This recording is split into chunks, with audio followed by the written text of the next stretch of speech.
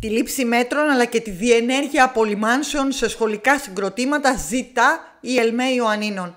Ο αντιπρόεδρος της ΕΛΜΕ, κύριος Μεγύρ, ζήτησε από τη Δημοτική Αρχή να προχωρήσει σε απολυμάνσεις σε σχολεία όπου υπάρχουν κρούσματα. Ενώ παράλληλα τόνισε για ακόμη μια φορά την αναγκαιότητα να σπάσουν τα τμήματα με μικρότερο αριθμό μαθητών. Όπως είπε η κατάσταση είναι δύσκολη και είμαστε ακόμη στην αρχή.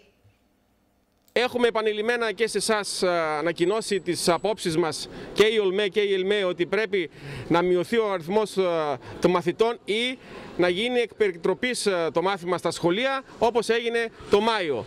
Δεν εισακουστήκαμε και γι' αυτό βρισκόμαστε μπροστά σε μεγάλο πρόβλημα και τονίζω ότι ακόμα δεν ήρθε ο χειμώνας που όλοι λένε ότι θα είναι πιο δύσκολα τα πράγματα.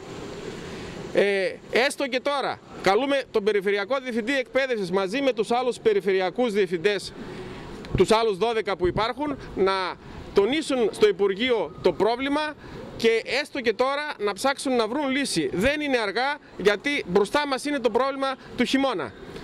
Επίσης καλούμε τη Δημοτική Αρχή σε όποιο σχολείο υπάρχει κρούσμα έτσι, να κάνει απολύμανση. Ακούγονται κάποια πράγματα ότι δεν γίνεται γιατί είναι ακριβά, ακριβή η απολύμανση έτσι, και θέλουμε να πούμε στη Δημοτική Αρχή αλλά και στον κόσμο των Ιωαννίνων το θέμα με αυτή την κρίση να τη βγάλουμε καθαρή και όποιος μείνει ε, ζωντανός γιατί την επόμενη μέρα θα μετρηθούμε και όχι τα πορτοφόλια μας.